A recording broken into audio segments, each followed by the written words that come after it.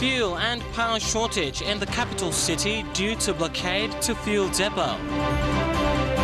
Westpac Bank shuts early due to power outages. And Hanuabada village still tense following last week's killings. This is National EMTV News with Tokana Hasavi.